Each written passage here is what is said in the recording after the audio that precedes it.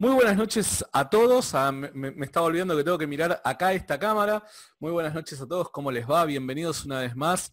Eh, en esta oportunidad, la verdad que estoy, estoy muy contento. Estoy muy contento porque ustedes saben que, mm, por lo menos desde mi, desde mi, eh, desde mi espacio, ¿no? y siempre sostengo que está bueno poder compartir ideas, discutir ideas, más allá de que las ideas se contrasten, ¿no? Eh, hay veces, yo personalmente no estoy muy de acuerdo cuando de un espacio solamente se comunica o se transmite, ¿no?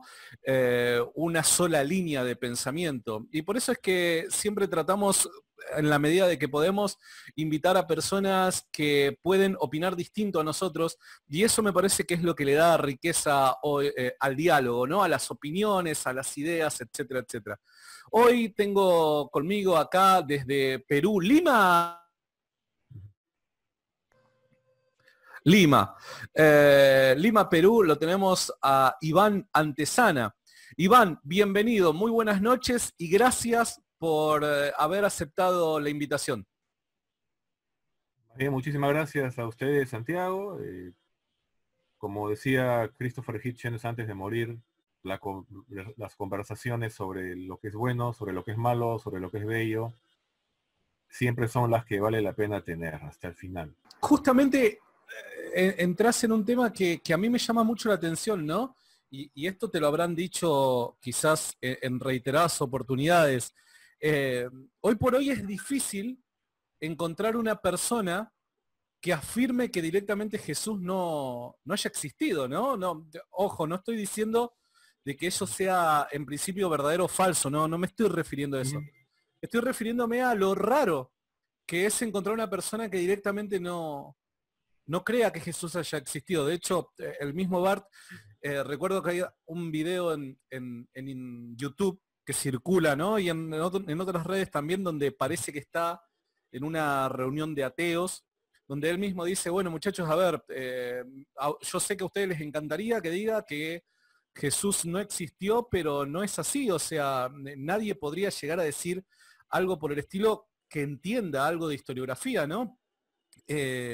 ¿Por, qué llegas a esa conclusión eh, de que Jesús directamente no existió? Bueno, bueno, en primer lugar sí cabe comentar que no es tan poca la gente que dice eso. sobre ese punto, por ejemplo, eh, bueno, Bart Ehrman ha debatido con varias personas, sí. pero jamás le va a dar, jamás se ha atrevido a debatir con Richard Carrier, por ejemplo. ¿No? Porque cuando él saca, cuando Bart Ehrman saca su libro de, de Did Jesus Exist, eh, lo trata de promocionar con un, con un, un artículo en, blog, en, el portal de... Y ese artículo realmente daba vergüenza ajena. Era una sarta de adominems terrible. O sea, eh, yo, yo decía, bueno, aquí hay alguien que quiere vender su libro, pero no sé, yo no llegaría a esos extremos, ¿no? Y, y, Carrier lo, realmente lo trapeó el piso con él, de tal manera que, Bart Ehrman incluso le respondió insultándolo, todo indignado, y se dio cuenta de, que había pisado el palito y borró su artículo, pero por supuesto ya varios lo habían grabado y está disponible en, otra, en, otros, en otros lugares, ¿no? Y, quedó así tan ofendido que nunca, nunca ha aceptado debatir con Carrier, pero Carrier en medio de, lo jodido que puede hacer eh, como persona, eh, le rebatió los puntos, digamos, este, con argumentos históricos, porque Carrier es historiador, e, es, especializado en historia de antigua Roma. Y entonces, eh, yo recuerdo, recuerdo, recuerdo un debate que, mm, a ver, yo no tengo la, posibilidad por vagancia nada más de, de, no saber inglés, ¿no? O sea, yo me quedo solamente con el español. Hay veces de que ciertos debates lamentablemente uno tiene que esperar a que alguien con su buena voluntad y tiempo pueda traducirlos, ¿no? Y hay un debate muy, pero muy conocido entre William Lane Craig y Richard Carrier, ¿no? Y me llamaba poderosamente la atención, no sé si tuviste la oportunidad de verlo, me llamaba poderosamente la atención una de las preguntas en el tiempo de preguntas y respuestas que le hacía una de las personas del público a Carrier, ¿no? Y le decía, le preguntaba a Carrier, ¿no? ¿Por qué pasaba que por lo general una persona cuando se presta a un debate formal, por lo general uno apoya sus ideas con ideas de otros eruditos, ¿no? No estoy diciendo de que las ideas de los eruditos son verdaderas, o sea, no estoy cayendo en la falacia, pero, pero sí por lo general uno respalda sus propias ideas con eh, conclusiones a las, que, a las que eruditos en la materia han llegado. Y Richard Carrier durante las dos horas de debate jamás eh, respaldó sus ideas con ningún otro erudito. Esto es sumamente llamativo, ¿no? Porque te vuelvo a mencionar, eh, es cierto que Richard Carrier es, es una persona que afirma que Jesús directamente no haya existido, pero también es cierto que a nivel académico no hay un respaldo a Carrier. ¿Esto por qué sucede? Y, te, lo, te, agrego esto, eh, porque uno podría esperar que historiadores cristianos obviamente jamás se, se respalden las ideas de Carrier, pero resulta tremendamente llamativo que historiadores judíos, agnósticos y ateos no llegan a las afirmaciones de Carrier. Si fuera tan evidente de que Jesús no ha existido, ¿por qué historiadores de la, de la, talla de, otras personas como, no sé, Crozan, por dar un ejemplo, no afirman tal cosa? Bueno, yo al final me, lo que yo intuyo de esto es que hay una serie de una serie de elecciones que toman ¿no? para llegar a una conclusión final. Cada persona lo, hará, lo valorará según sus propios criterios. Pero hay una confusión de términos que me parece que están mucho en la raíz del, asunto. Porque, por ejemplo, eh, y yo lo digo así a varios conocidos cuando me preguntan también, porque, porque, por ejemplo, ¿qué dice Herman? Herman dice eh, que Jesús existió, pero que es que no es lo que está en el Nuevo Testamento. Sí, es cierto. Entonces, eh, la famosa división entre el Jesús histórico y el Jesús de la fe, ¿no? O el Cristo de la fe. Entonces, la verdad es que yo, yo desde hace mucho tiempo, porque yo soy un yo soy un tipo de repente por mi perfil psicológico, yo soy muy literalista, entonces yo soy muy quisquilloso con las palabras que se usan y el significado que se les da. Entonces, eh, muchas veces las personas para argumentar algo eh, estiran el significado de los términos, ¿no? Utilizan un sinónimo que realmente no lo es. Entonces, yo tengo el presentimiento de que con los estudios del, Jesús histórico eh, ocurre lo mismo, es decir, eh, de una manera coloquial. A ver, este, alguien le dice a, un, a uno de estos historiadores, oye, pero mm, hemos descubierto que, que hay un Jesús, pero que no es del año 30. No importa, es lo mismo. Hemos descubierto que no nació en Belén. No importa, es lo mismo.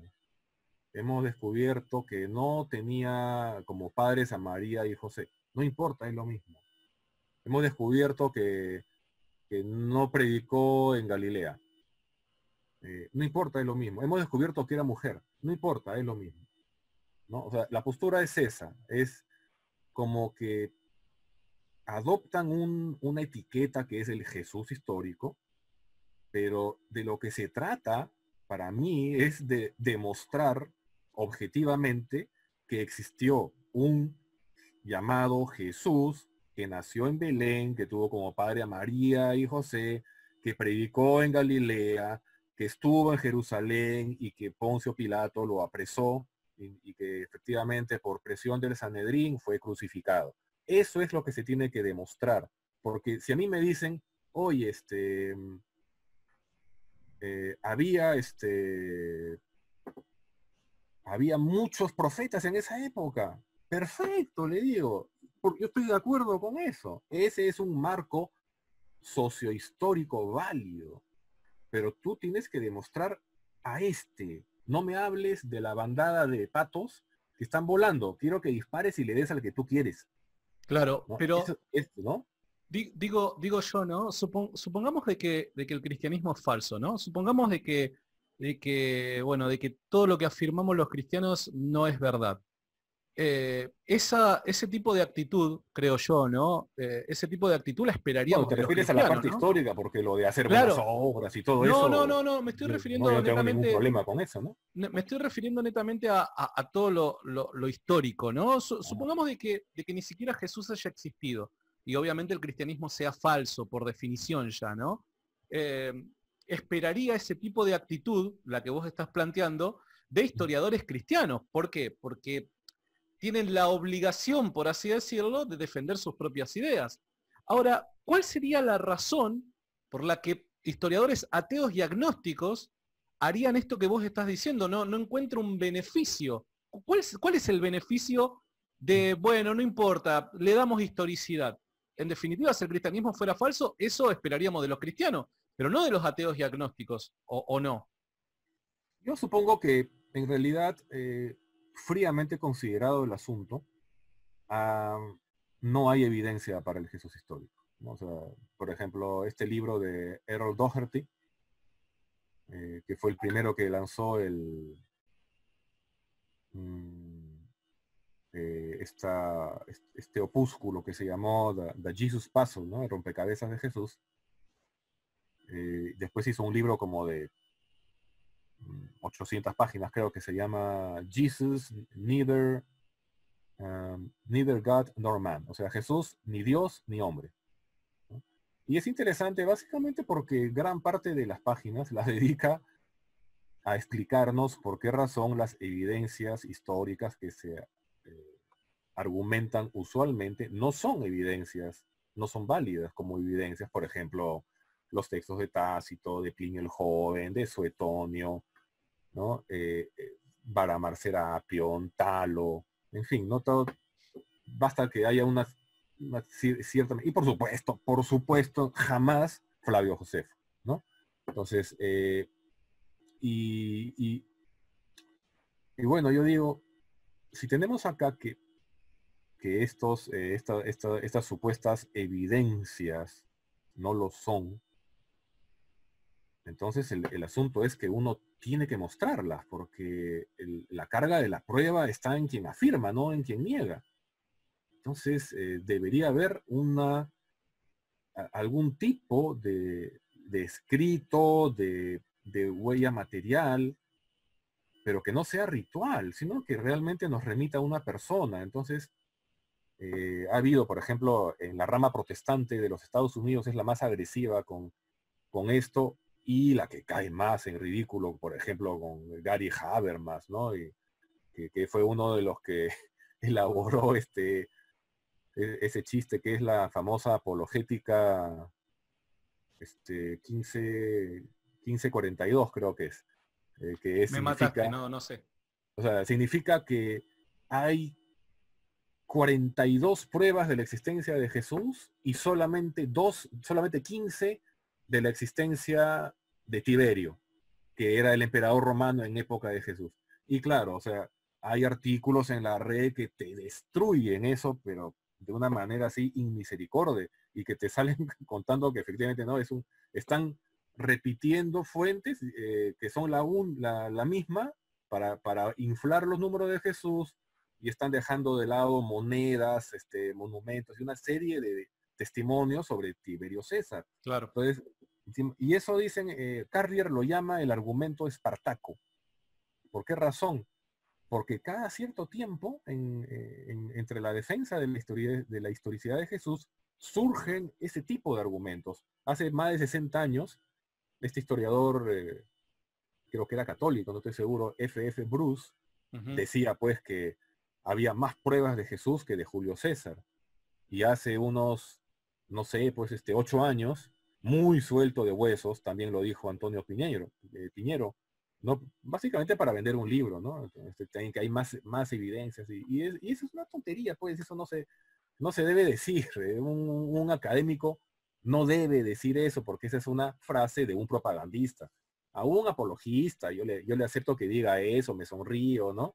Lo compadezco en mi foro interno, pero a un académico eh, sí se le puede reclamar, oye, este, está bien que quieras vender tu libro, pero este, no, Ahora, no, no, con eso, ¿no? No con sí. esos argumentos. te entiendo, te entiendo. Eh, obviamente yo no, no, estaría de acuerdo con respecto a que a, esta afirmación tajante con respecto a que no hay evidencias acerca de Jesús, ¿no? Pero corriendo eso a un costado, diría, diría lo siguiente, ¿no?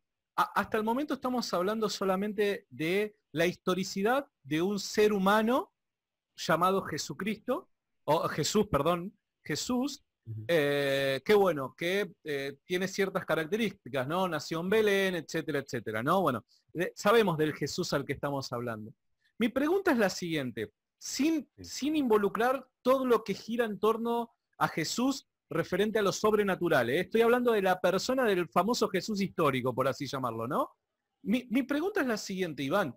¿Qué tipo de evidencia vos considerás de que sería la, la, la, que requiere una, una, buena, una buena investigación para llegar a la conclusión de que Jesús existió. ¿Cuál es el tipo de evidencia que vos dirías, esto sí es buena evidencia para afirmar de que Jesús ha existido? Yo supongo que como en todo, eh, como en todo estudio científico, la evidencia debe ser algo que te explique los datos que ya tienes, ¿no? Porque eh, para mí ese es el gran problema y ese es algo de lo que a mí me lleva a decir que no. Eh, porque la evidencia que tenemos actualmente es una evidencia bastante complicada, ¿no? Porque si tenemos que el discurso dice, el discurso después, tenemos manuscritos, el, el famoso manuscrito Chester Betty, que está en Dublín, que es la copia completa, me parece, más antigua del Evangelio eh, llamado Evangelio de Marcos, que es, según toda la, todo el consenso de los estudios neotestamentarios, fue el primero que se escribió. ¿no? Eh, ¿Qué datación tiene el, el, el, papiro, el llamado papiro Chester Betty? más o menos mediados del siglo III, año 250. esa, es, esa es la copia más antigua que ha sobrevivido del, Evangelio de Marcos. Luego tenemos eh, los textos de los llamados padres de la iglesia, los que escribieron, digamos, los más tempranos, que son del siglo II, Justino Mártir, Origen, eh, Clemente de Alejandría, ¿no? Orígenes es un siglo después, ¿no? Eh, Clemente de Alejandría, em, no, Tertuliano ya es después también. Bueno, en, general, estos padres de la iglesia antigua, algunos testimonios que dicen que parece que hubo un tal Papías, que hubo este Ignacio de Antioquía, ¿no? Entonces, estos textos que hablan, ¿no? Nos hablan de, este personaje.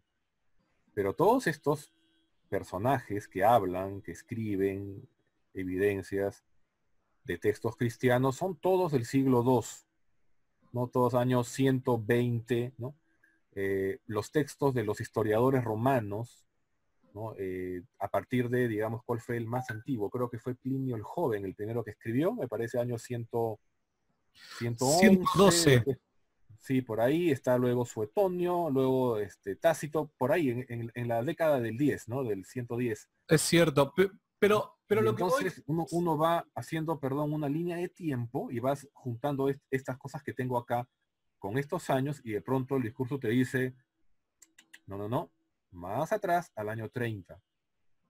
Y, resulta que si tú buscas eh, pruebas arqueológicas de asentamientos que tuvieran elementos cristianos, no los encuentras antes del año noventa y tantos. O sea, eh, en el siglo I, eh, la presencia arqueológica del, cristianismo está limitada a las postrimerías del siglo y en un porcentaje que dice, creo que son el 0,01% de la población.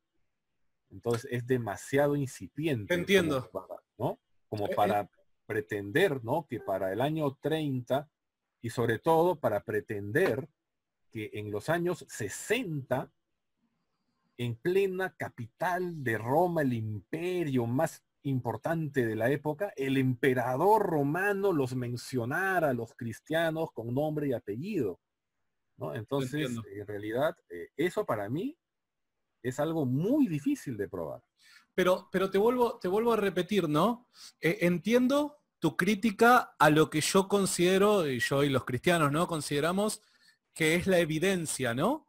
Entiendo tu crítica, pero eh, particularmente en este momento no quiero discutir si es buena la evidencia que tenemos o no, sino para vos, ¿qué sería buena evidencia? ¿Qué tipo de evidencia vos te llevaría a eh, creer o a llegar a la conclusión de que realmente existió una persona llamada Jesús? ¿Cuál es el tipo de evidencia que vos, que vos considerás necesaria para llegar a esa conclusión histórica? Por ejemplo, si yo hubiera eh, leído un texto como el de Plinio el Joven, ¿por qué es importante Plinio el Joven? Porque él era amigo del emperador era en esa época Adriano. Eh, y como estaba él en Bitinia, que era una zona que estaba, bueno, en la actual Turquía, digamos, por las orillas del Mar Negro, entonces él hacía reportes y le escribía al emperador. Y en uno de esos reportes habla de que había un, un, culto nuevo, que le llamaban los cristianos, que se reunían en ciertos lugares, que adoraban a, un tal Jesús como si fuera un Dios, ¿no? Y, eso es todo. El problema es que eso es del año 111, 112. O sea, si, ese, si un texto de ese tipo estuviera fechado en el año cuarenta y tantos, Entiendo. yo sí estaría muchísimo más inclinado. El problema para mí es medir y fechar, ¿no? Porque es una ciencia es medir. Vos, lo, que, lo que solicitarías en este caso sería un tipo de documento que afirme la existencia de Jesús mucho más cercano a los hechos concernientes de su vida. A, lo, que, a lo que el discurso estándar reclama, ¿no? Porque el, discurso estándar nos dice años, años 30, ¿no? Entonces, eh, eso es lo que deberíamos encontrar y sobre todo un, un testimonio parecido al de Plinio el Joven, que estamos hablando de un de un tercero. No estamos hablando de un cristiano. Una persona desinteresada. Claro, una persona, digamos, un, pagano, pues, ¿no? Claro. Este, entonces, eso para mí sería muchísimo más este, interesante, porque los judíos, por ejemplo, los judíos hablan algunas referencias que dicen que están en el Talmud, pero el Talmud se empieza a recopilar por escrito, porque era tradición oral, ¿no es cierto? Se empieza a recopilar por escrito siglo 5, si no me equivoco. Sí, o sea, a partir del año 300, 400, más o menos. Sí, más o, menos, más o menos. Pero, a ver, volviendo a la pregunta que te hacía, ¿no? Y digo, eh, pero este tipo de evidencia que vos reclamás para la existencia de, Jesús, vuelvo a, vuelvo a mencionar, no estoy afirmando nada con respecto ni a su resurrección, ni a en torno a lo milagroso, sino a la existencia de un ser humano llamado Jesús, ¿no? Este tipo de evidencia que vos reclamás, a mí me cuesta eh, ahora memorizar si alguna persona en la historia antigua eh, tiene este tipo de evidencia. Eh, a ver, nadie dudaría de la existencia de Alejandro Magno y este tipo de evidencia que vos reclamás para afirmar su existencia, nosotros no la tenemos de Alejandro Magno, como de muchos otros personajes históricos que hoy no se ponen en tela de juicio su existencia. Entonces, por, eso, por eso me, hace un poco de ruido la rigurosidad de tu exigencia para el caso de Jesús y entiendo de que no pones en tela de juicio la existencia de otras personas, ¿no? Claro, bueno, lo que sucede, por ejemplo, Alejandro Magno fue un personaje políticamente muy gravitante. Entonces, eh, tenemos testimonios de las ciudades que fundó, que la ciudad llamada Alejandría se fue fundada por, por su nombre, hay monedas de Alejandro Magno. Es cierto que los testimonios, digamos, eh, ordenados, por lo, que uno podría considerar una biografía de, Alejandro Magno, se empezaron a recopilar mucho tiempo después también. 400 años, ¿eh? Mirá que, o sea, si somos críticos con 60 años, ponele los evangelios, el último evangelio, el de Juan, Imagínate Alejandro Magno, 400 años son. Me parece de que si la rigurosidad es la misma, acá estaríamos en un problema, ¿o no? Ahora, eh, eso probablemente por ser un personaje muy antiguo, pero de los emperadores romanos eh, contemporáneos definitivamente hay muchísimos más testimonios.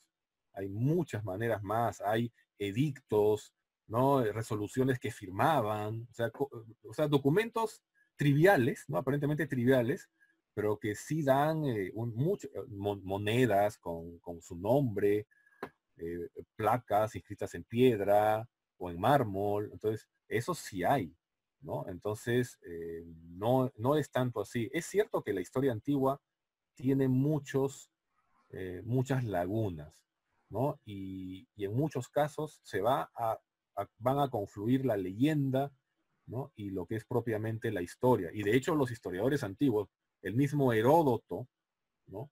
escribía como a veces en la historia, historiografía antigua. Incluso estaba leyendo que que mucho más, este, mucho más estrictos, mucho más metódicos como historiadores eran, por ejemplo, Genofonte o Tucídides que Heródoto, que es considerado el padre de la historia, ¿no?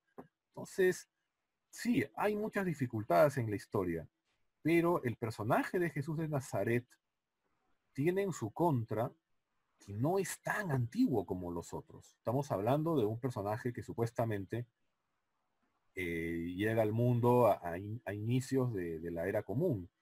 Entonces, eh, como digo, ya el imperio romano con, toda su, con todo su impulso estadístico, porque los romanos registraban todo, eran muy cuidadosos, ¿no? Eh, ya digamos, estamos en una época de la cual sí tenemos muchas mayores certidumbres, ¿no? Por eso te digo, ahí caemos un poco en lo que Carrier llama el argumento espartaco, ¿no? Y que, que se puede investigar mucho con todas estas, eh, por ejemplo, que, ¿por qué es argumento espartaco? Porque antes decían, hay más evidencia de Jesús que de Julio César. Mentira, hay más de Julio, mucho más de Julio César. Luego cambiaron a la, a la apologética 1542 que te mencioné. Hay más evidencia de Jesús que de Tiberio. Tampoco es así. Y ahora están usando que hay más evidencia de Jesús que de Espartaco, el esclavo que puso y también hay artículos que si buscas los encuentras, casi todos en inglés, eso sí, que destruyen eso punto por punto. Entonces, al final me parece que eso es un poco estéril, estar tratando de, de, igualar a todos los personajes de la, historia antigua para poner este, en, en una zona de, beneficio de duda Jesús, porque en realidad eh, las, las, evidencias son de otro tipo.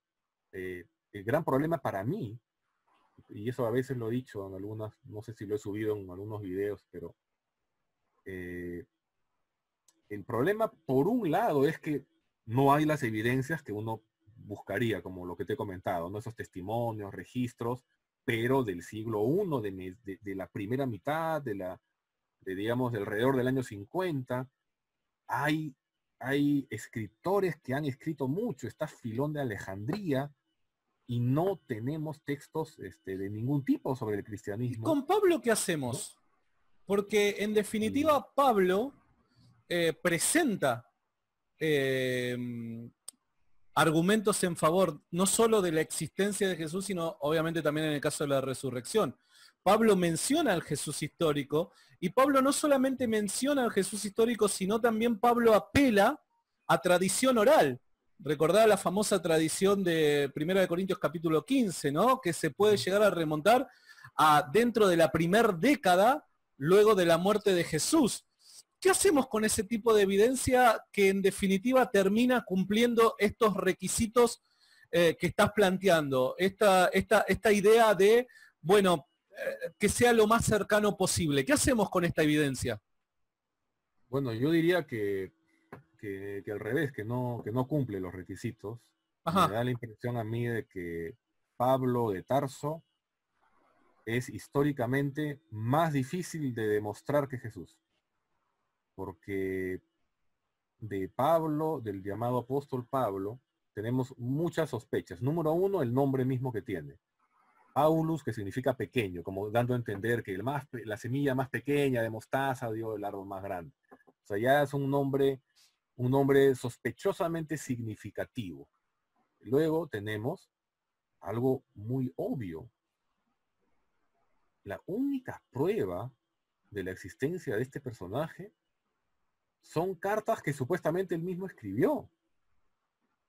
O sea, eh, eh, porque obviamente ya hay, por ejemplo, toda la serie, un epistolario como de 14 cartas que hay de correspondencia entre Séneca, el, filósofo más importante de, los años 60, mentor de Nerón, ¿no es cierto? Eh, y Pablo.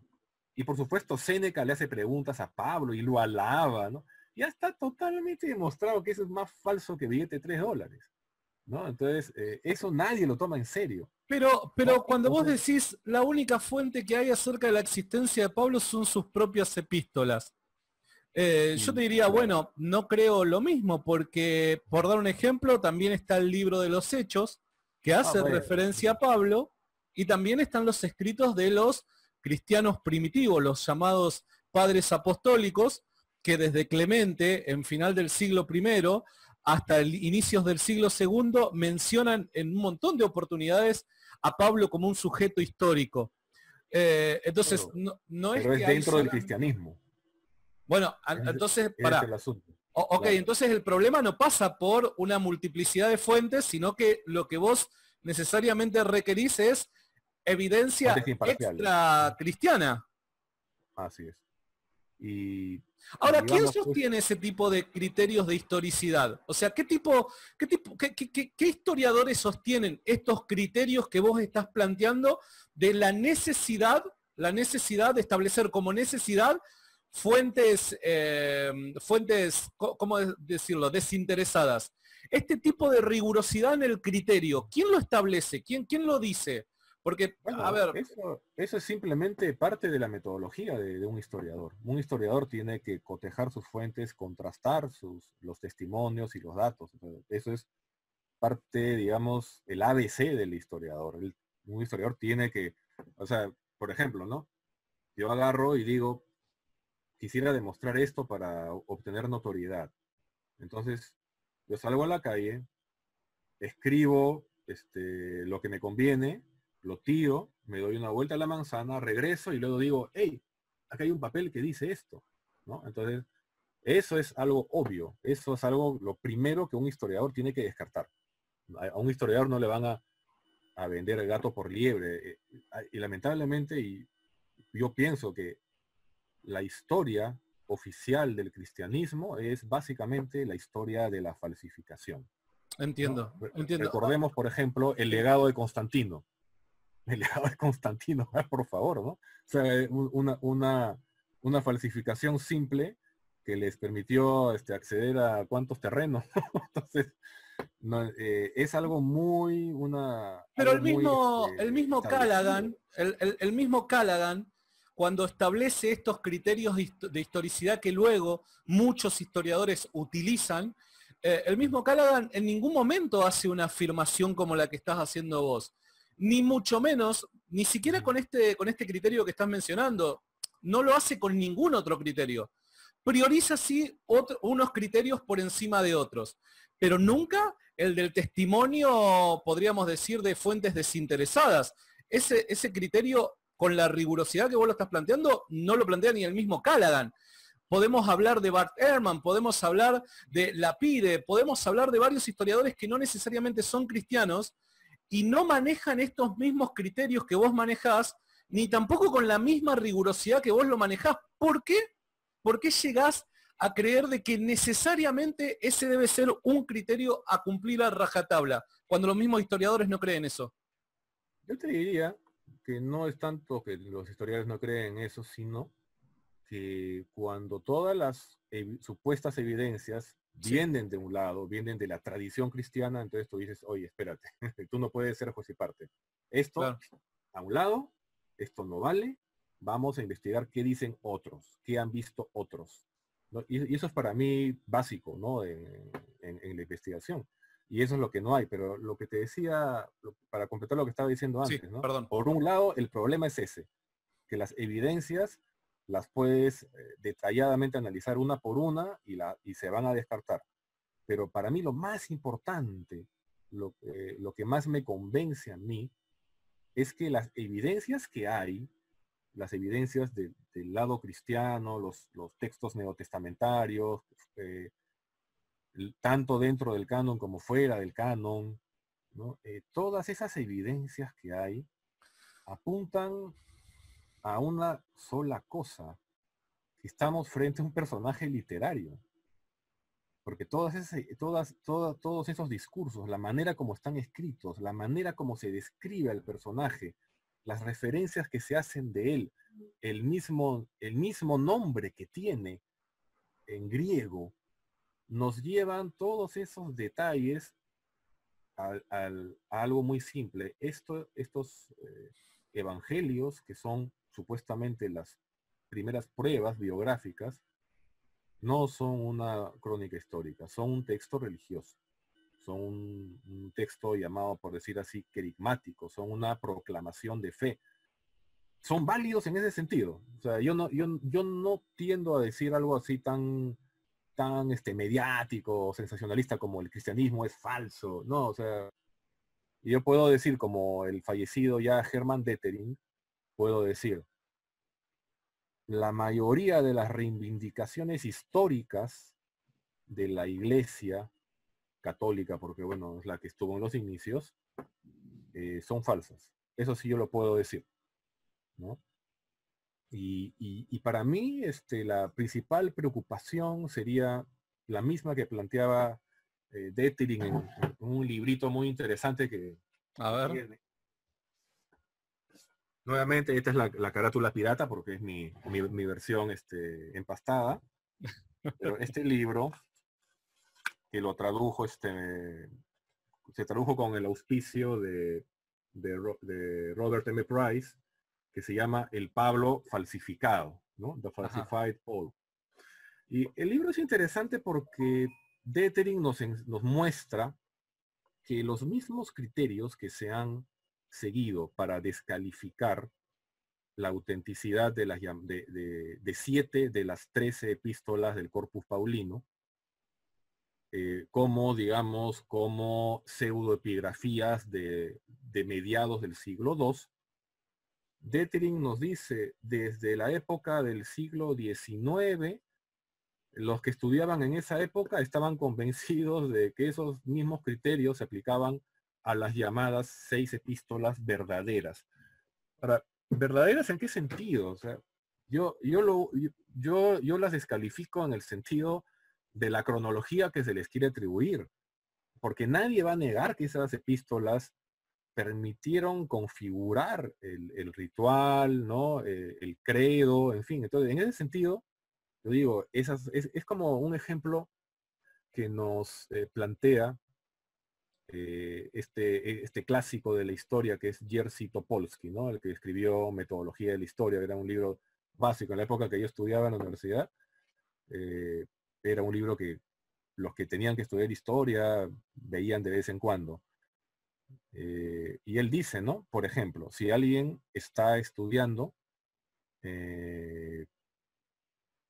sobre un sobre propiedades y uno encuentra eh, un texto y se da cuenta porque ha estado viendo registros municipales de ese distrito y se da cuenta de que esta firma atribuida a tal persona es diferente, es diferente de todas las firmas de esa persona que están en el registro, por lo tanto, este es un documento falso. Esto no vale.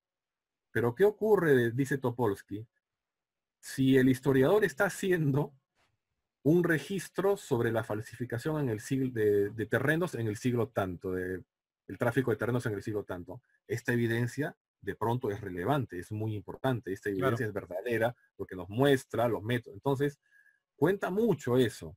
Y, el asunto con las cartas paulinas es ese, ¿no? La pregunta de Detering es, es muy simple, ¿no? O sea, ¿por qué pensar que en realidad todo el corpus paulino no es del siglo II, porque dice, y él, él llega a apuntar directamente a Marción como responsable de la falsificación, y él mismo lo dice, esto que yo estoy diciendo aquí eh, no tiene evidencias que se hayan encontrado en otros textos de otro lado, ¿no? A estas alturas eh, no hay más, Pero eh, pero nos remite a, historiografía muy antigua, ¿no? Porque bueno, estos alemanes han estado estudiando desde, hace siglos y hay muchas cosas que no, eh, entiendo, han salido a la luz. Pero, pero si, si las epístolas paulinas eh, son de mediados del siglo II, ponele, ¿no? Creo que esa fue una, una, fecha aproximada que tiraste. Si las epístolas paulinas son eh, de esa fecha, ¿cómo, cómo, cómo resolvemos el tema de eh, cuando los mismos padres apostólicos tanto citan a Pablo como hablan de él? ¿Cómo, cómo lo resolvemos? ¿Cuándo entonces fueron es que, estamos hablando de, una época similar. Es que los padres apostólicos son de esa época, de mediados del siglo II. Marción es contemporáneo de ellos. Marción tuvo su época estelar en el 147 más o menos. Entonces, son textos que sí. ¿Vos crees que Clemente es de mediados del siglo II? Clemente, de Roma. Cuando estoy hablando de Clemente de Alejandría, el que estuvo en Alejandría en el año 150, más o menos. Yo hablo, yo hablo de Clemente de Roma. ¿Vos crees que Clemente de Roma es de mediados del siglo II? Clemente de Roma, pero es que ese es un personaje mítico prácticamente. Eh, Clemente de Roma, eh, hay, hay, una, hay un documento que se le atribuye a él, pero realmente es un documento demasiado disputado, ¿no? Yo no pondría los, manos al fuego por, por ese personaje. De Clemente de Alejandría sí me queda muy claro que sí fue el maestro de Orígenes, puedo tener tantas referencias, pero Clemente de Roma, y hablando del siglo prácticamente ya de, siglo I. O sea, para mí es, es, una narrativa construida básicamente para eh, trasladar la importancia histórica de Roma como capital del imperio y endosarle esa importancia al, credo cristiano. Me parece una narrativa muy simple en ese sentido, ¿no? Entiendo. sí, la polémica va a estar por ahí, ¿no? En, realmente si uno, si uno valida o no algunas fuentes, ¿no? Y eso, y eso va a ser motivo de, de, mucho tedio de, investigación. Eh, pero nuevamente, para mí el tipo de redacción que hay, claro. Eh, es demasiado, demasiado, digamos, literaria. Te, escuché, te escuché eh, decir en una de tus, de tus conferencias, de tus charlas, que mm, en realidad los evangelios sinópticos no se pueden tomar como tres fuentes independientes, dado que Lucas y Mateo se copian de Marcos. Eh, esto es un, esto lo entendí bien, es una idea que sostenés. Eh, los, sinópticos son así porque básicamente son reescrituras. Eh, el Evangelio de Marcos originalmente tenía 666 versículos. Y no sé si ese número te parece... Llamativo. ¿No? Llamativo, ¿no? Que es un número cósmico, ¿no? Es un número que remite a la astronomía babilonia, babilónica. Y uh, de esos 666 versículos, más o menos unos 630 están reproducidos, reescritos, a veces con otras palabras, en Mateo. Entiendo. Tenemos a Lucas, eh, de Lucas se adjudica el, libro de, Hechos de los Apóstoles, y ahí empezamos con un problema muy grave con el famoso Pablo, porque el recorrido que el mismo Pablo suele decir que tuvo, ¿no?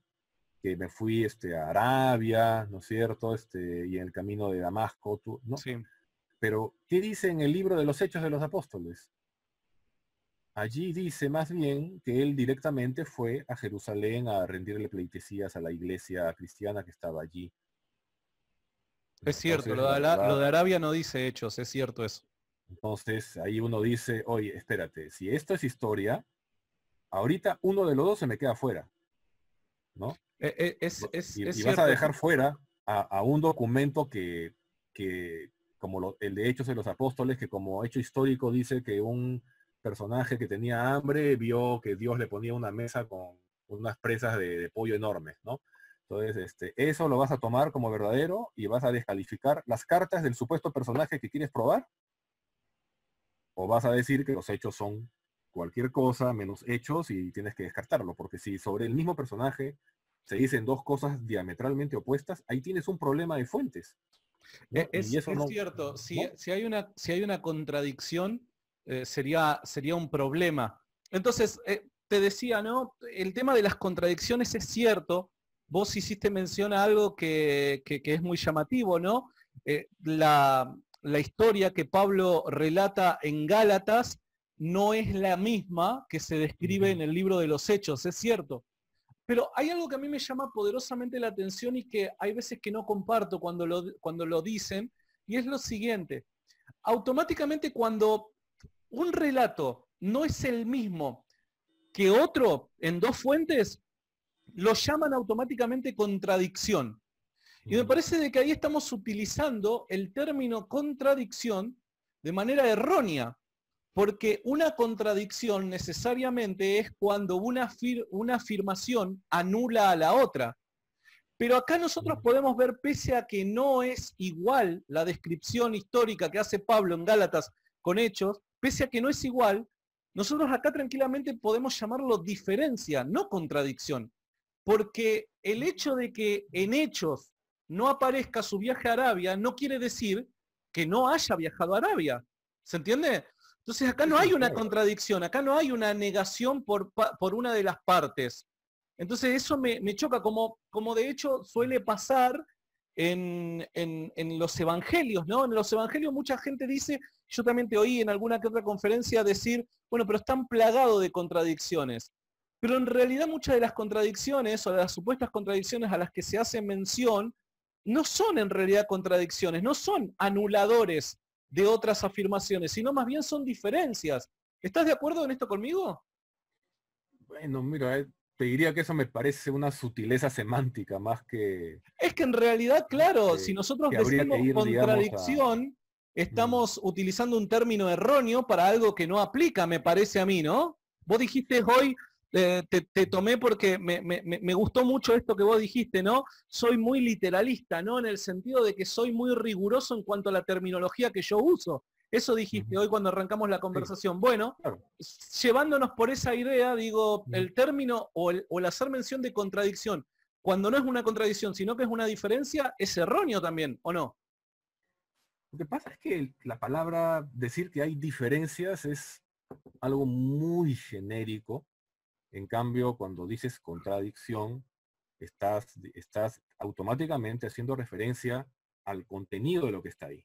¿no? O sea, porque, por ejemplo, yo podría describir diferentes aspectos del paisaje de la ruta donde este personaje viajó y yo no diría que es una contradicción. Efectivamente diría, son diferencias, porque depende de la valoración que tú estás haciendo de la relevancia que le das a esas diferencias.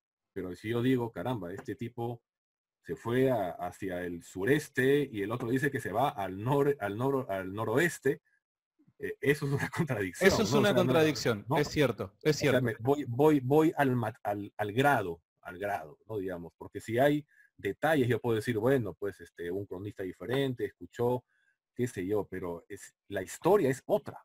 Pero es así, tenés toda la razón. Si hay tales afirmaciones, eso sí es una contradicción. Pero ahora yo te vi en una, en una conferencia decir lo siguiente, por dar un ejemplo haciendo referencia a, la descripción de la resurrección, ¿no? Bueno, que en un evangelio habla de María Magdalena, otro de ah. varias mujeres en donde estaba María Magdalena, otro en dos mujeres, que una era parte María Magdalena. En definitiva, eso que presentás como una contradicción, por lo que vos ahora mismo estás diciendo, no es una contradicción, son diferencias. Bueno, Mira, la cuestión es, si tú buscas eh, considerar el texto, los textos evangélicos como una crónica histórica, entonces automáticamente vas a tener que ser riguroso. Eh, y ahí sí va a haber muchas diferencias, y sobre todo la prueba literaria, porque Marcos pone esa escena de la tumba abierta con el joven que está allí. Y dime, tú podrías, según lo que lees en el Evangelio de Marcos, tú podrías conectar a ese joven que está en la tumba con el joven que huye desnudo cuando arrestan a Jesús? Personalmente es un tema que, lo he meditado mucho y no llego a una conclusión certera. Es un, es un, es un buen planteo ese. Y hay gente que, lo conecta, hay gente que, no lo conecta, hay gente que dice que el propio joven que huyó desnudo era el propio Marcos, hay gente que afirma eso. Personalmente conozco esta discusión y no podría hoy decir, mira, llegué a esta conclusión porque te mentiría. La verdad es que no, es un tema complicado. Claro, pero por ejemplo, yo te puedo decir que si se analiza literariamente, sí te puedo decir con total rotundidad que son el mismo personaje. Ok.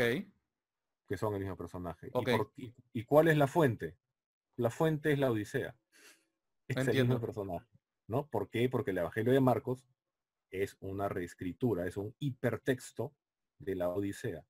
Mira. Es una transvaluación, que es una, que era un ejercicio literario muy común en el mundo grecorromano. Ahora, ahora me gustaría volver a esto que, acabas de decir porque me, resulta sumamente llamativo. Vi que había una conferencia tuya partida en varias, en, varias secciones ¿no? sobre el tema. No tuve el tiempo para poder verla, así que, me interesaría mucho que si, si, tenés el tiempo como para poder explicarme, no, ¿no? Pero un instante nada más, me quiero, quiero, quiero regresar a algo súper interesante que estabas diciendo, ¿no? En definitiva, a ver, para cerrar el tema de las diferencias, en definitiva, si hay diferencias en diferentes testimonios referentes a un mismo tema, ¿deberían descartarse como un hecho histórico? Dependiendo del grado de relevancia que les des. A, ver, ¿a qué te referís con eso? O sea, eh, dependiendo de las consecuencias que esas diferencias puedan tener. Ah, dame un ejemplo, por favor, no, no, te termino de entender porque los evangelios no son, pues efectivamente, yo sostengo, como varios otros, que no son un texto histórico, que son un texto religioso. Entonces, como tal, buscan llegar a ciertas conclusiones para su fe. Entonces, es bien importante para algunos, por ejemplo, eh, para Marcos, que solamente fueran tres mujeres, ¿no? Nuevamente, la razón literaria está en el entierro de Héctor en la Ilíada. Eran tres mujeres las que estaban en el entierro de Héctor, por lo tanto iban a ser tres mujeres las que iban a la tumba de Jesús.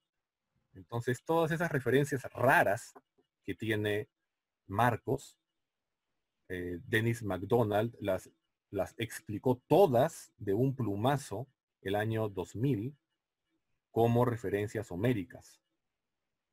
E, entiendo. Pero, pero, no es no es justamente el punto que estoy queriendo, ah, que, estoy queriendo llegar. Estoy desviando un poco. Si, no, y ojo, quiero volver al tema de, la, de, mm, ¿cómo es? De Homero, que, recién mencionaste, porque me parece hiper interesante. Pero, pero volviendo al caso, digo, eh, vos como un eh, investigador en, en, cuanto a lo histórico, ¿no? Te encontrás con dos fuentes. Las dos fuentes son fuentes independientes y describen un mismo hecho pero al describir el mismo hecho, se diferencian o se contradicen en cuanto a lo que dicen o cómo lo describen al hecho. ¿Eso sería una razón suficiente para descartarlo como un hecho histórico?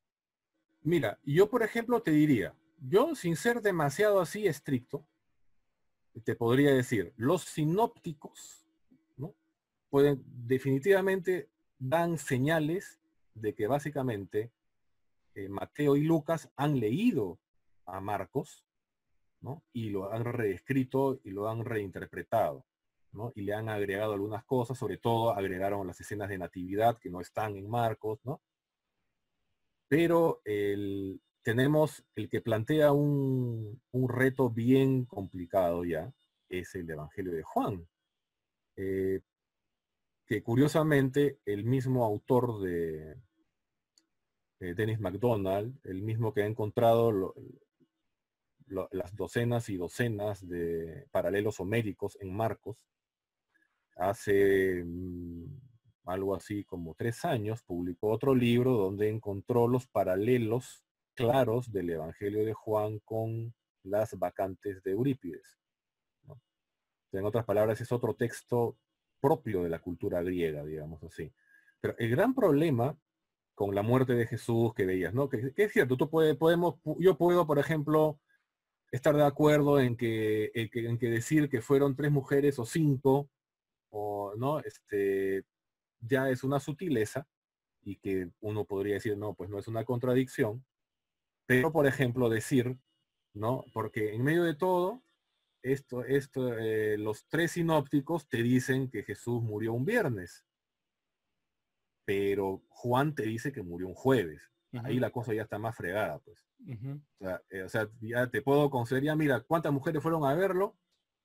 Ya, O sea que entonces... pero ya en qué día murió, ya pues ya no, eso no es una tenés, toda la razón, es un problema... Hay un grado diferente, ¿no? E, es un problema sumamente mayor para el cristiano responder porque es que Juan afirma un jueves y los sinópticos un viernes. Eso, eso, eso es cierto, eh, es un problema.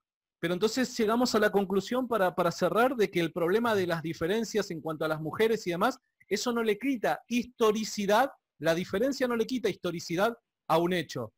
Porque también en definitiva, e, en, la historia, en la historia no cristiana, podemos llegar a decir, encontramos mucho material histórico en que cuando lo comparamos con otras fuentes describiendo el mismo hecho, también hay no solamente diferencias, hay contradicciones. Y no por eso nosotros dejamos de creer que tal hecho histórico haya ocurrido, ¿no? Entonces me parece de que esto de que la diferencia descartaría, como te, oí decir en esta conferencia, descartaría el hecho de creer de que es una fuente confiable a la hora de recopilar historia, eh, me parece que es una afirmación algo, algo valerosa, por así decirlo, ¿no? Valiente. Eh, recuerdo el caso de Tucídides, de no, perdón, de Suetonio y de Tácito, ¿no? La descripción que hacen eh, con respecto al incendio en Roma y cuál ha sido la causa. Esto no es una diferencia, eso es una contradicción. ¿Se entiende? Ahí hay una contradicción tajante. Y obviamente ninguno de nosotros discute el hecho de que haya ocurrido un incendio en Roma. Entonces, me parece que viéndolo de esta manera y siendo igualmente, o sea, aplicando la rigurosidad que aplicamos a otros textos, aplicársela a los textos cristianos, me parece de que esas diferencias no son razón para creer de que los documentos no son confiables. Eh, diferencias hay en todo tipo de texto. Ahora, volviendo al caso de Homero, ¿no? Que vos recién mencionabas y me llamas poderosamente la atención, cómo decís de que hay un paralelismo, hay paralelismos homéricos, decías, con respecto a Marcos. ¿Estamos de acuerdo si decimos que el Evangelio de Marcos tiene como principal objetivo llegar mm, al, hecho de la resurrección, que la resurrección es el clímax de la historia? ¿En eso estaríamos de acuerdo? Sí, Sí, es literariamente hablando. Sí, sí, sí. Ese, eh, o sea, es como, eh, es como ver una película sin final, en definitiva, ¿no? O sea, es como que todo el Evangelio te apunta al clímax que termina siendo la resurrección, sea esta o no un hecho histórico, no lo estamos discutiendo ahora. Pero digo, si existen paralelismos homéricos en Marcos, la pregunta es la siguiente, ¿cuál es el paralelo con respecto a la resurrección que aparece, que aparece en los textos homéricos? Es muy simple. Eh, a ver.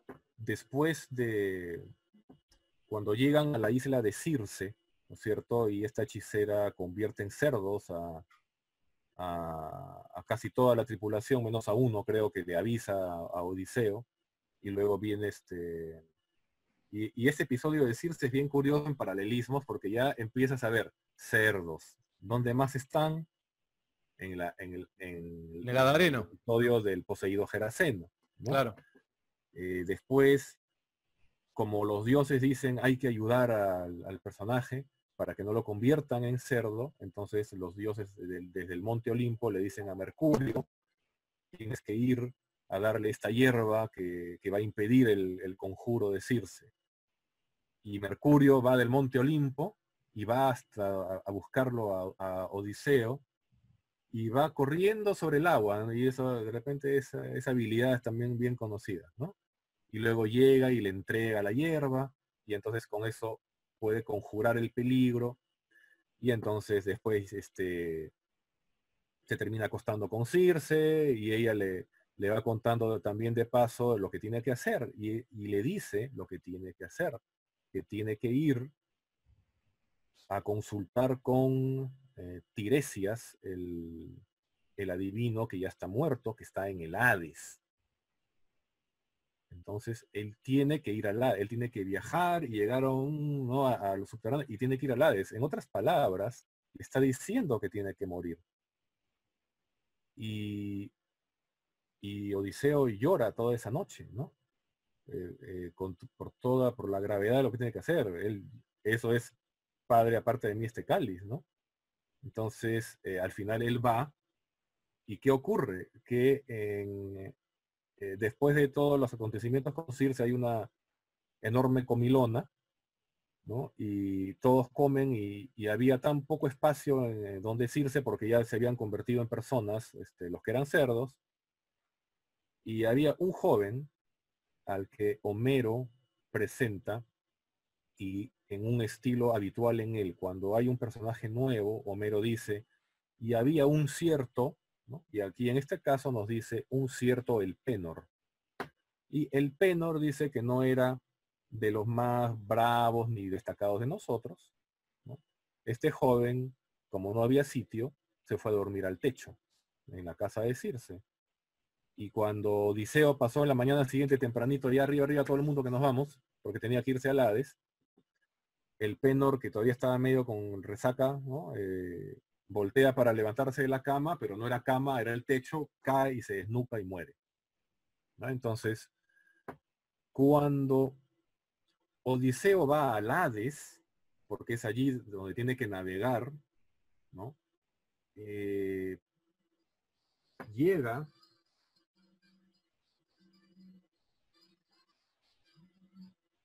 llega a, su destino en el Hades, ¿no? Y, antes de llegar al lugar para hacer la invocación, derramar la sangre y hacer el rito para que las almas salgan y que aparezca Tiresias para preguntarle, de pronto se le cruza el Penor. Entonces, eh, el mismo joven que está en, en la zona de los muertos. Y entonces es ahí donde Odiseo se sorprende y, porque pensaba que estaba con, el resto de la tripulación y el Penor le cuenta que no, que él ha muerto en estas penosas circunstancias y que por favor, para, para no ser maldecido en el resto de su travesía, tenía que regresar del Hades a donde Circe para enterrarlo él debidamente en la playa, hacer un túmulo y poner el remo que tanto me gustaba, este, con el que, con el que yo este, navegaba con usted. Entonces ahí tienen los elementos. Odiseo va al Hades y regresa. Eso te lo está contando Homero. Entiendo, entiendo, pero, pero en la historia... el joven es el mismo. Eh, eh, el joven es el mismo. Te, entiendo, pero no hay una resurrección literal en la historia. No se plantea como una resurrección literal. Luego que... Ah, claro, no es pues, el, centro pues, de la narración, pues no es. Pero a ver, uno le puede dar la interpretación alegórica que mejor le parezca, pero no necesariamente hay una literalidad en cuanto a la resurrección. De hecho, para Homero, una resurrección literal en términos cristianos es imposible, porque el, que, el, que, está en el Hades, en el Hades se queda. Ahora, claro, ¿por qué? Porque, ojo, en este caso no podemos buscar una literalidad a mansalva, porque lo que el autor McDonald nos explica bastante bien en todo el marco teórico de su investigación es que esto es una transvaluación. Es decir, en la época antigua sí existía el plagio, sí se sabía lo que era un plagio. ¿no? Entonces, no busquemos un plagio aquí, porque no lo es. Es una transvaluación. Eh, ¿Y qué cosa es eso? Era parte de la enseñanza del idioma griego, porque como sabemos todos, que fue Alejandro Magno el que lleva el helenismo a, los confines del mundo conocido, eh, eso implica que el, griego para poder ser enseñado mejor en, otras poblaciones, de otras tradiciones culturales, hay que simplificarlo y eso es lo que lleva al famoso griego koiné, ¿no es cierto? El griego, el griego fácil, por decir así. Entonces, ese es el griego en el, que está escrito el Nuevo Testamento, fundamentalmente, ¿no? en Marcos en particular. Entonces, eh, ¿qué características tenía la enseñanza del idioma griego? para y, y, eso nos lo dice McDonald haciendo referencia a, unos papers sobre educación en, esas épocas. Y es bien interesante. Decía, ¿cómo aprendían griego en, la, eh, en esas épocas? Simplemente les daban a leer dos libros, ya vas adivinando cuáles son. La Ilíada y la Odisea. O sea, esos libros, y efectivamente dice, puedes encontrar en bibliotecas antiguas, en papiros que todavía sobreviven en rollos, te vas a dar cuenta de que la cantidad de copias de la Ilíada y de la Odisea sobrepasa n veces a las copias disponibles de obras de Platón, de Aristóteles. Pero, pero esto, pero esto, ¿cómo explica el caso de? Y, lo segundo. el tema de la resurrección, digo, ¿cómo, cómo, cómo explica todo esto que me estás diciendo? lo segundo lo segundo que hace que esto no sea un plagio, pues, es que la manera de enseñar el idioma griego, uno de los ejercicios fundamentales que los maestros le imponían a los alumnos, era hacer una transvaluación. ¿Qué cosa era una transvaluación? Les decían, obtén una escena, saca una escena de la Ilíada o de la Odisea, ¿no? Ponle a tus propios personajes haciendo cosas similares, pero transmite tus propias ideas. Eso era la transvaluación. O sea, tenías que hacer una estructura narrativa similar a lo que, para que te sea fácil, para que no te, no te inventaras tantas situaciones, pero tenías tú, entonces, por ejemplo, la Eneida es una transvaluación también, homérica. Y tenemos, por ejemplo, que en la Odisea hay una pelea entre, en los juegos que organiza Aquiles en honor a Patroclo, después que ha sido muerto por Héctor, y hay una pelea entre dos personajes, ¿no? Entre uno que es más viejo y uno que es más joven. Entonces, obviamente, el, joven gana la pelea del pugilato. Pero en la Eneida también hay, hay unos juegos y también hay una escena de pugilato pero en esta escena, el viejo le gana al joven. Tú dirías, entonces no es un plagio. Claro que no lo es, es una transvaluación. ¿Y cuál es el valor que quería Virgilio transmitir? Uno de los valores romanos básicos, como era el respeto a los mayores. Entonces él se sentía en la libertad de cambiar el resultado del partido, del match. Eh, entiendo, entiendo porque estaba transvaluando. ¿no? Entiendo y estoy de acuerdo. Por esa razón es que no vas a encontrar eh, que no, que, o sea, si, si, Odiseo no lo crucificaron, entonces no es, claro que no es igual. Bueno, pero, acá en el, ejemplo, en el ejemplo que vos me estás presentando, hay una base, hay una base que no se pierde. Puede ser que ciertos, em, ciertos hechos periféricos sean modificados, pero la base se mm. mantiene. Vuelvo a repetirte, el caso de la, de la crucifixión y resurrección de Cristo y el significado que se le da por los primeros cristianos, en donde hallamos al menos esa base, al menos la historia base, no, no te estoy pidiendo que haya una literalidad en cuanto al paralelismo, sino al menos la base. ¿En dónde la encontramos esa base? Parece ser que estamos hablando de una historia completamente distinta. Ahora, yo te puedo entender de... ¿Cómo? Parece, eh, y, estamos en definitiva, a ver, a mi impresión, hablando de dos historias completamente distintas. Podemos, te doy un ejemplo, te doy un ejemplo que creo que en algún momento vos lo mencionás, que sería, que sería motivo de charla para otro momento, ¿no? Pero digo, que cuando vos comparás lo ocurrido en el nacimiento de Moisés con lo ocurrido en el nacimiento de Jesús. Fantástico. Ahí encontramos la base. ¿Cuál es la base? La base es que una determinada autoridad no quiere que nazca un determinado bebé por una determinada razón. ¿Está bien? Entonces mandan a matar a todos los bebés. Pese a que detalles periféricos son modificados, parece ser una base muy parecida. En el caso de la resurrección de Jesús o la crucifixión, no encontramos ni siquiera eso. No hay una base en los, en los relatos homéricos, bajo ningún punto de vista. No hay nada ni siquiera que nos acerque a una, a una luz al final del túnel, ¿se entiende? Yo me, me, parece que eso ya es demasiado ad hoc. O sea, es una suposición. es que eso ya es un tipo de este, evidencia. eso ya es una interpretación particular, es decir, el concepto es el mismo. El concepto es que, el personaje central va al mundo de los muertos y sale de ahí. Esa es la Pero eso no pasa con Jesús.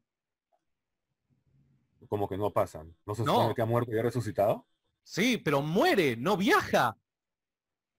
Ah, bueno, es que estamos hablando de un texto cristiano, no va a ser igual. O sea, le van a dar otro valor. Entiendo. Como te digo, es una base conceptual nada más. Entiendo. o sea, cuando tú, cuando tú analizas los paralelos que nos plantea McDonald en, su, en su obra, que es una de las pocas que tengo en original, que es este, ¿no? Eh, la épica ah, homérica, la épica homérica y el Evangelio de Marcos. Entonces, cuando tú analizas los paralelos, tú dices, bueno, sí, se parece, pero no tanto, pero hay un parecido. El problema es que son cientos. Entonces, ese es el asunto. ¿no? Es, es lo que lo hace contundente es la cantidad de paralelismos que hay. ¿No? Algunos son más importantes que otros, pero como te digo, el asunto es que si nos enfocamos en el concepto de la transvaluación, no en un plagio, no en un traslado directo, porque estamos hablando de un texto de más o menos 900 años antes, ¿no?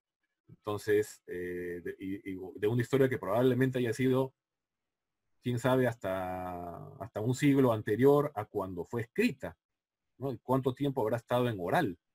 ¿No? No sabemos eso. Entonces, eh, no vamos a encontrar un traslado así, tan, tan radical. No esperes encontrar eso tampoco.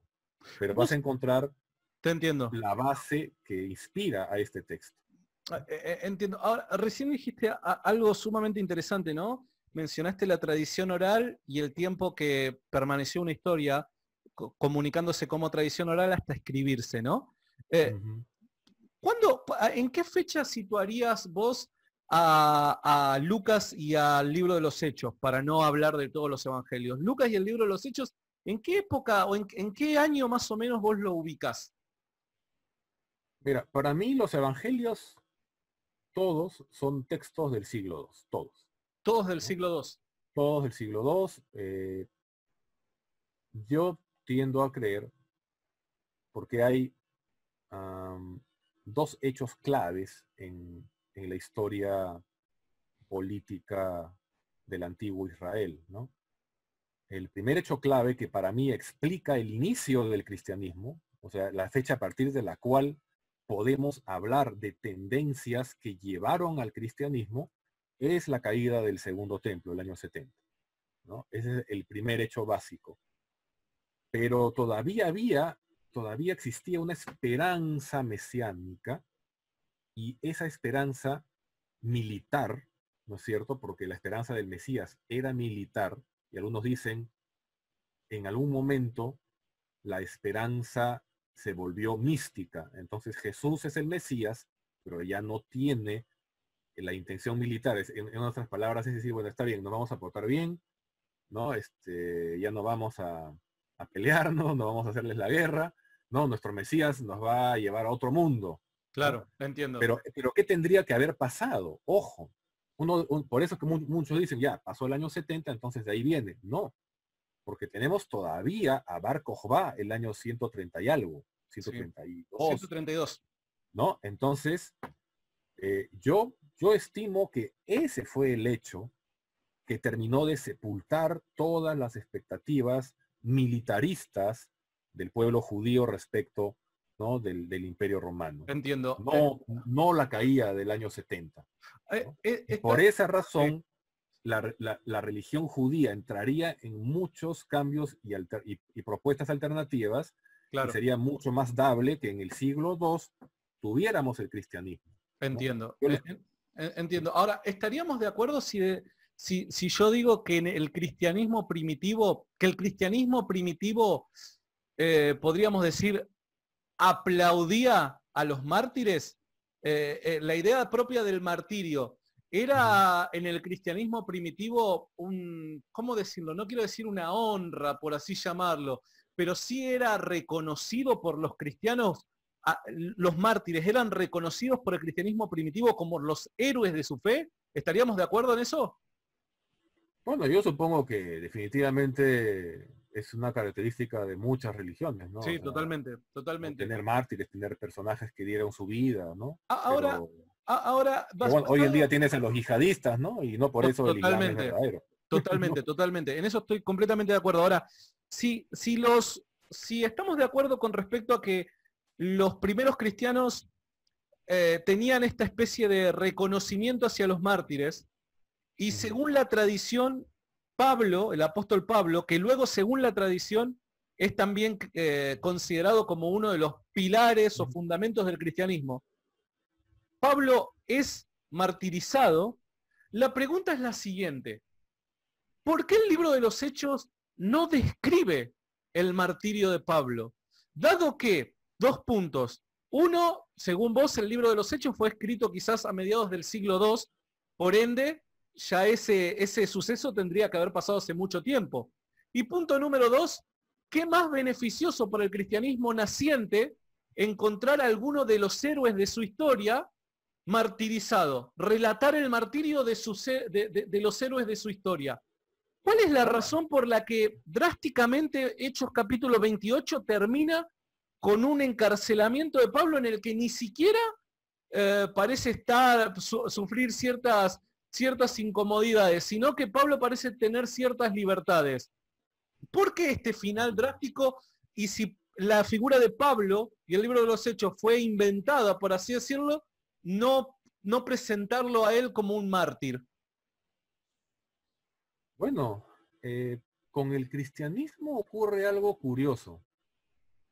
Hay mucha gente que me suele decir que, que bueno, que está bien, el fechado que se puede adjudicar a algunos documentos puede ser más o menos objetivo, pero que hay una incertidumbre total en, la etapa oral de, que llevó a esos textos. Pero yo les digo, olvidan un detalle muy importante, que el cristianismo es una derivación del, judaísmo, eh, eh, con una base griega muy importante. O sea, es una religión griega con ropaje judío. Es así como yo la veo. Lo importante es que eh, la religión judía es una religión de libro y el cristianismo tiene eso claramente, una religión de libro. Y eso es algo que ya nos va a dar una tónica muy diferente y que no va a ser tan fácil eh, salir, eh, que alguien se salga con la suya de, pretender decir que cualquier texto cristiano fácilmente nos remonta hasta a 300 años atrás. Eso ya es algo bien difícil. ¿Por qué razón? Precisamente por Nag Hammadi. En Nag Hammadi tenemos una prueba muy interesante de la metodología cristiana de elaboración de textos.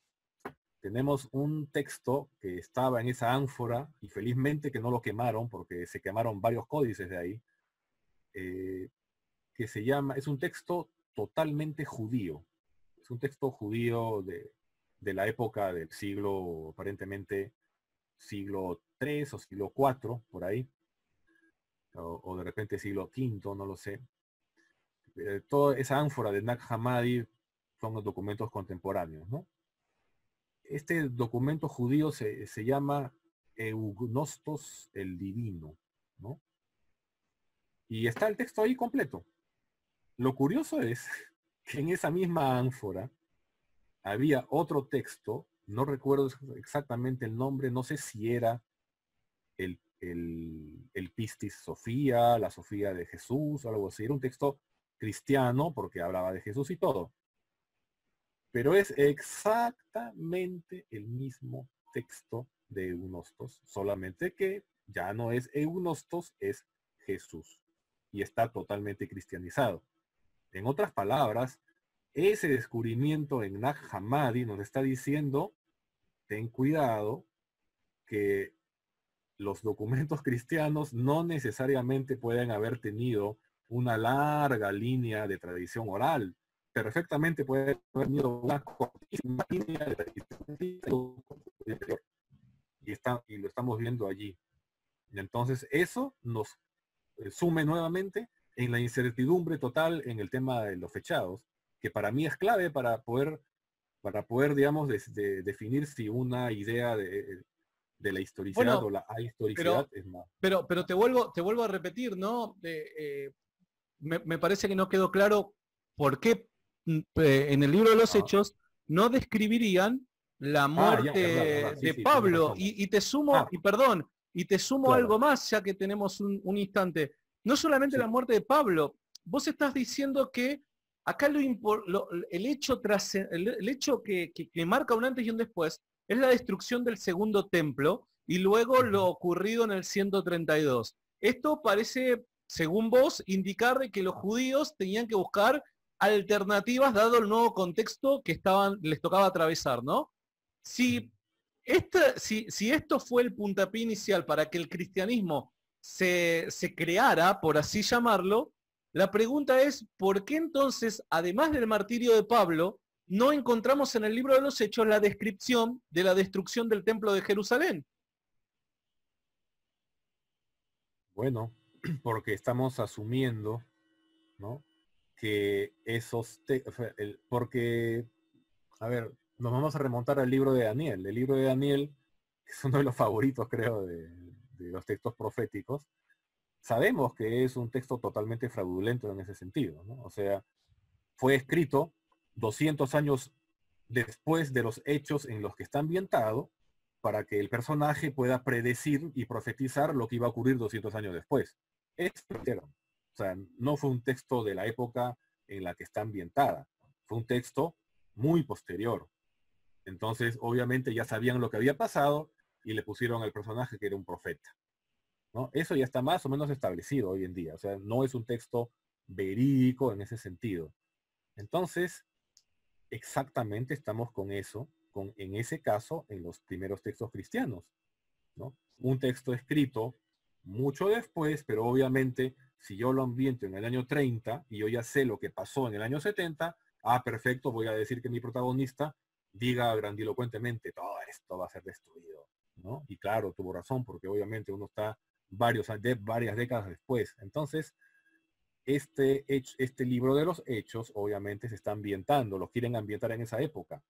Entonces no van a describirte la destrucción del templo, porque aparentemente eh, debe estar fechado en una época en que no había ocurrido, porque si estamos hablando de, discípulos de Jesús, o sea, la gente que lo acompañó en el año 30 eh, y que ya eran adultos, o sea, tenían sus veintitantos, 30 años, pues obviamente no íbamos a llegar hasta el año 70. ¿no? Entonces no podía estar esa información.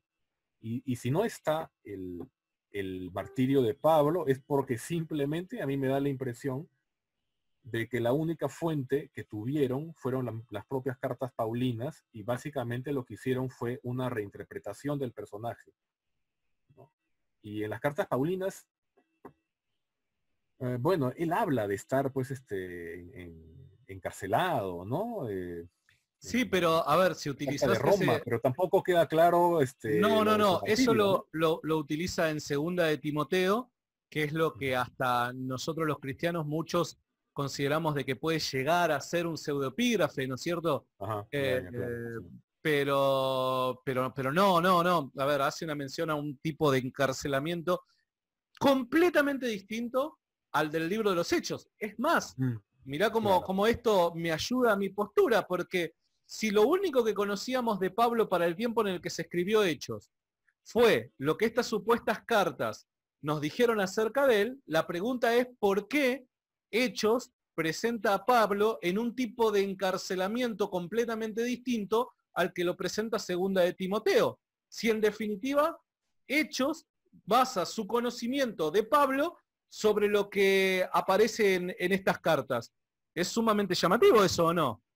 Sí, por supuesto. Lo cual, lo cual me reafirma a mí en la idea de que estamos en textos que no tienen ningún compromiso con la verdad histórica. Son textos que están bueno, buscando una interpretación. Yo diría Entonces, cuando, cuando, tú, cuando tú asumes que yo no estoy contando hechos reales, sino que estoy a través de la trayectoria de un personaje, quiero reforzar, ¿no? Porque la literatura antigua era eso. Los personajes no son un personaje que hizo esto.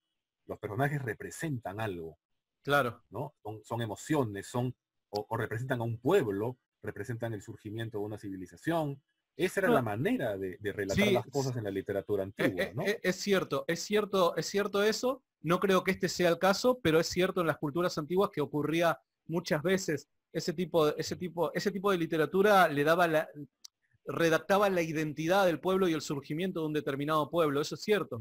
No creo que sea para nada el caso del cristianismo. Ahora, eh, vos decías, bueno, pero en definitiva eh, sostiene mejor tu punto.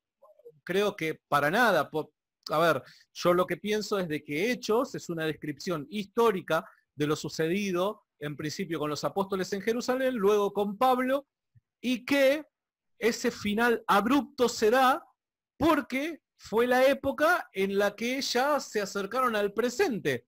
Porque vuelvo a repetir, o sea, imagínate, imagínate, un evangelio, sea o no sea inventado, eso después lo, se, discute, pero sea o no sea inventado, imagínate un evangelio que prepare eh, al lector para su objetivo final, que es la crucifixión de Jesús y la resurrección, pero que termine cuando a Jesús lo arrestan por eh, la traición de Judas. Es un texto que en, en definitiva termina siendo incompleto. Lo mismo pasaría en el caso de Hechos. Si Hechos, si Hechos es un texto de mediados del siglo II que busca de alguna u otra manera crear una historia que le proporcione identidad a un pueblo cristiano que estaba surgiendo, en definitiva, ciertos actos sumamente, cientos hechos sumamente importantes para tal identidad, creo de que ya sea alguien que lo esté inventando, que lo está relatando eh, históricamente, no se perdería ese detalle. ¿Cómo me voy a dejar? ¿Cómo voy a dejar? Vos decías recién, ¿no? O sea, los personajes históricos son aquellos que muchas veces le daban identidad al pueblo y la vida de ellos era significativa. ¿Cómo es que yo, inventor del libro de los hechos, me voy a perder la oportunidad de relatar el martirio del apóstol que ha fundado el cristianismo. ¿Cómo yo me voy a perder la oportunidad de describir la destrucción del templo que en definitiva ha sido el puntapié inicial para el surgimiento de nosotros como comunidad? Eso me parece que es bastante iberosímil históricamente hablando. y la explicación podría bien ser que esas cosas no, no eran el objetivo de quienes escribieron ese texto. ¿Y cuál podría llegar a haber sido el objetivo entonces en hechos? Yo pienso, por ejemplo, en, un argumento muy recurrente cuando todas las escuelas cristianas competían entre sí eh, y que en el siglo, a mediados del siglo II, donde yo estimo que la mayoría de los textos se han escrito, los, los iniciales, que ya era un argumento que estaba manejando, que lo manejaban, por ejemplo, los valentinianos, que creo que fueron los primeros en proponer eso, que fue el famoso argumento de la sucesión apostólica. Entonces, ¿cuál es ese argumento? Bueno, el argumento, porque había, por ejemplo, los que podían, podrían en algún momento, y creo que eso lo sugiere Herman en, alguno de sus libros, me parece que en el de en el de Misquoting Jesus, que, tiene, que tiene versión en castellano, Jesús no dijo eso, eh, donde Herman dice, este, este episodio de, en el Evangelio, en los Evangelios en que Jesús está reunido, tiene un, creo que está en un almuerzo, y le dicen, afuera están tu madre y tus hermanos. Y él dice, pero ¿qué? ¿Quiénes son mi madre mis hermanos? No, todos, mis prójimos. Eso no es una crónica de, un hippie que estaba este, portándose malcriado con la mamá. Eso lo decía Herman, es la negación, la descalificación de aquellas escuelas cristianas que pretendían reclamar más autoridad sobre otras porque respondían a un supuesto linaje de la familia de Jesús. Querían ser exclusivas, diciendo que eran como los herederos familiares de Jesús. Entonces, ese pasaje sirve para decirles, no, ese argumento está fuera. Todos somos hermanos, todos somos familia, ¿no? Entonces, esa es una manera de argumentar. Entonces, eh, digamos pues que el objetivo podría haber sido eh, el argumento de la sucesión apostólica, que era el argumento en boga en esa época. Eh, ¿Cuál era ese argumento? Bueno, estuvo Jesús, Jesús tuvo sus discípulos, y esos discípulos nos encargaron a nosotros el trabajo. ¿No? Esa es la línea. No, no la familia, no un linaje en particular, nada de eso. Porque eso, el linaje, es una idea judía. El cristianismo es una religión que rompe con el judaísmo, que es más antiguo, absorbiendo las principales tendencias de las religiones mediterráneas de la época. Y e, una de ellas era el cosmopolitismo. Ya no había, eh, no tenías que, tener una herencia genética para ser parte de una religión. Y era curioso porque los romanos satanizaban a los cristianos diciéndoles que se comían, eh, que tenían matrimonios incestuosos y, y comían niños y esas cosas. Y esas acusaciones torpes básicamente se referían a ese cosmopolitismo de llamar hermano a un hermano en la fe, no a un hermano biológico consanguíneo. Entonces, eso eh, para mí es una línea de apoyo a la sucesión, al, argumento de la sucesión apostólica. Solamente mostrarnos a este apóstol de la fe, ¿no? Y nosotros seguimos. De hecho, por ejemplo, Detering, en ese librito que te mostré hace un tiempo, eh, el, Pablo falsificado, él es el de la idea de que Marción eh, fue el que escribió las cartas paulinas para darse justamente la autoridad apostólica y por esa razón, el Marción, de hecho, fue el primero que hizo un canon de, nuevo, del Nuevo Testamento. Fue el primero que tuvo la idea de, ordenar los libros y decir, esto, es él, por supuesto, obvió todos los, todos los evangelios menos el de Lucas. ¿Por qué razón? Porque el de Lucas es el de más eh, sentimiento antijudío y Marción odiaba a los judíos. Por eso es que Marción negaba que el, Nuevo el Antiguo Testamento pudiera ser parte de la, de la Biblia. Para él el canon era únicamente el Evangelio de Lucas, eh, me parece que el libro de los Hechos y alguna de las cartas paulinas, no todas. Entonces ese fue el primer canon, ¿no? Que él lo, promovía. Entonces, eh, para mí, la manera como está escrito eso, hechos, eso plantearía, eso. eso. plantearía, me parece, un gran problema para vos, eh, eh, Iván, porque ¿Ah, si en definitiva Marción es la persona que probablemente haya escrito epístolas paulinas, la pregunta es ¿por qué los, los antagonistas a Marción utilizaban las epístolas paulinas? Porque es así, porque en, esa lucha por la autoridad, al final todos utilizaban los argumentos que podían y le quitaban los argumentos al otro. Pero ¿no te, parece, ¿no te parece algo descabellado que las personas contemporáneas a su antagonista utilicen los textos que él mismo creó para, para, para, predicar su para predicar el evangelio, en definitiva, los antagonistas sabían si, los claro, pero has dicho una palabra clave. A ver. Los, los antagonistas contemporáneos pero los que siguieron un, par de décadas después ya no. Está bien, pero los Está bien, pero los antagonistas contemporáneos utilizan a Pablo. ¿Cómo van a utilizar a Pablo los antagonistas contemporáneos si Marción es el que creó a Pablo? Es, algo descabellado, la verdad.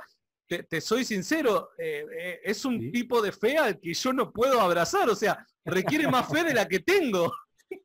Pero, pero en realidad, mira, eh, con, la lectura de este librito de Herman, de, la corrupción ortodoxa de las escrituras, vamos asistiendo a un este a lo que algunos ateos este a este ateo este David Fitzgerald creo que, ha escrito un libro clavado no diez este, mitos cristianos que refutan la existencia de Jesús es un poco así este un poco sensacionalista pero, una vez lo escuché hablar en un, en un, en un video y Fitzgerald decía una frase que para mí ha quedado, ¿no? Que la manera como el cristianismo fue perfeccionando su discurso es un perfecto ejemplo de evolución darwiniana aplicada al mundo de las ideas. Entiendo. Cómo, cómo fueron, eh, y, eh. y, es lo que decía Stephen Hawking, ¿no? Hemos avanzado a hombros de gigantes. nunca nos hemos negado. A la larga, el progreso humano, las ideologías, suman, no restan. Puede que tú, claro, que eh, estás con un enemigo ideológico y le sacas la mugre, no, eres un maldito por tal cosa, bla, bla, bla. Y después, cuando la tendencia política te es favorable, listo, ven para acá, lo que tú decías, ahora yo lo digo. Y eso es típico de estructuras de poder, de, de grupos que llegan al poder le quitan el argumento a los rivales. Sí, eso sí se da políticamente. Yo diría que eso más bien es algo muy humano. Entiendo, entiendo. Entiendo. Eh, em, Iván, ya se, ha hecho muy tarde, te, agradezco mucho todo este tiempo que me, me has dado para, charlar estas cosas. Eh, no me quiero ir sin antes la última, la última pregunta. Eh, y digo, ¿no? Si los evangelios fueron escritos eh, si yo no me equivoco, hiciste mención al siglo, mediados del siglo II. Si los evangelios fueron escritos a mediados del siglo II, cuando el judaísmo ya no estaba centralizado en Jerusalén, ni el judaísmo estaba centralizado en el templo o sus actividades, la pregunta es por qué los evangelios, y particularmente Mateo, trata tanto el tema del judaísmo cuando para ese tiempo los principales oponentes del cristianismo no eran los judíos, si no eran los paganos. ¿Se entiende? O sea, es como gastar pólvora en chimango, diría gente de algún país, ¿no? Eh, es, es, es, es, más viable la idea de eh, si, los evangelios fueron escritos a mediados del siglo I, que los principales argumentos de Jesús vayan y ataquen directamente a las costumbres judías. ¿Por qué? Porque el judaísmo estaba centralizado para ese tiempo, antes de la destrucción del templo, en Jerusalén. Ahora, si fue escrito en medio del siglo II, la pregunta es, ¿por qué atacan tanto los planteos judíos cuando los principales oponentes del cristianismo de esa época eran los paganos? Bueno, por la sencilla razón de que el antijudaísmo era un, una sensación que fue aumentando. El pueblo romano le tenía tirria a los judíos, les tenían pica, como se dice acá, porque se, revela, porque se revelaban, pues, ¿no? Porque habían tenido la gran insurrección de los sicarios en el año 66, que termina con la destrucción del templo en el año 70 por Tito, pero no dejaron de rebelarse.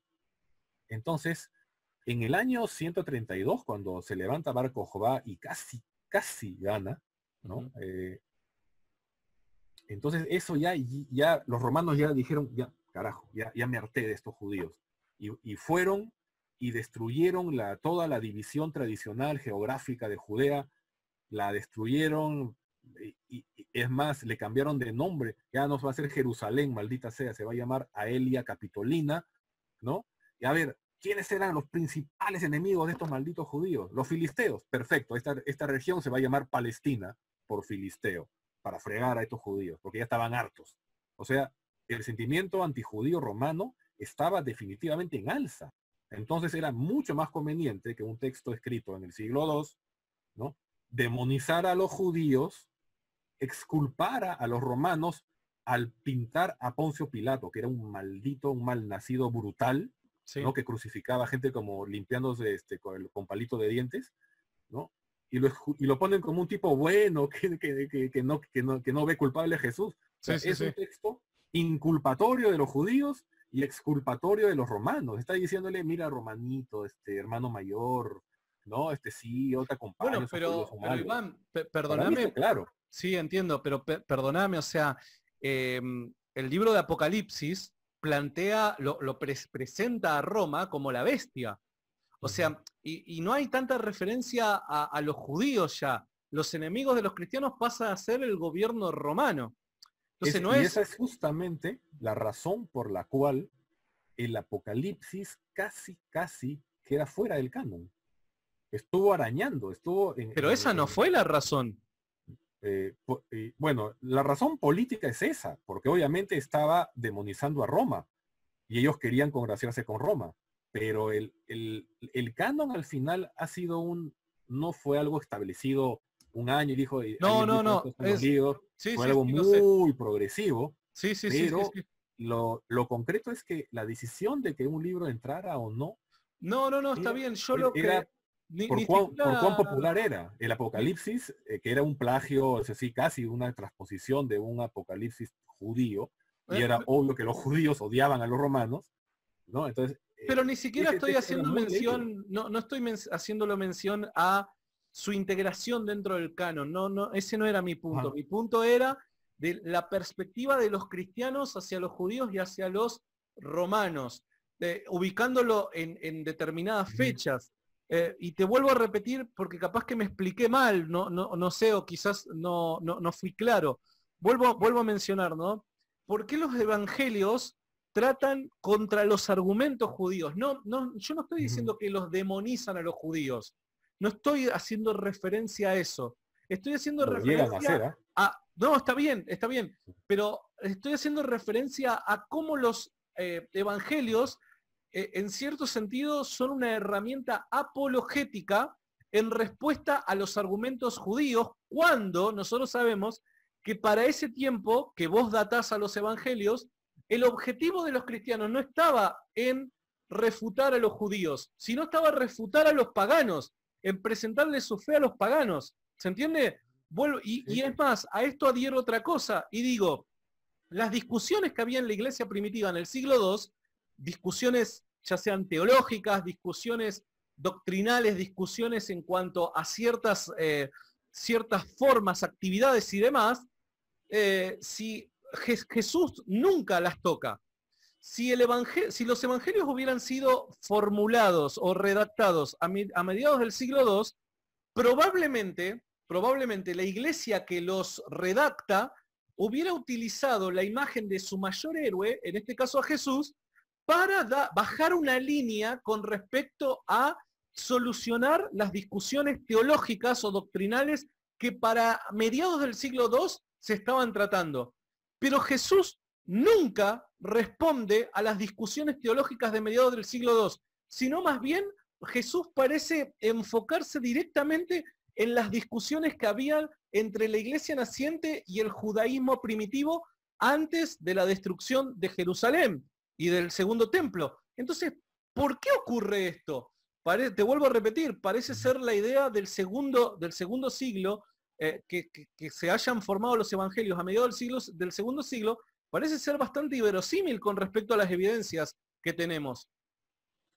Bueno, eh, el hecho de haber sido redactados en el siglo II no descalifica el hecho de que efectivamente podrían conocer realidades del siglo I para retratarlas. El problema es que se equivocaban, como por ejemplo cuando Marcos eh, dice en el capítulo quinto, me parece, cuando habla de eh, de darse la vuelta ¿no? por la región de la Decápolis y, e ir a, Tiro y Sidón, hace referencia a un camino que no existía en esa época, pero que existía en el siglo II.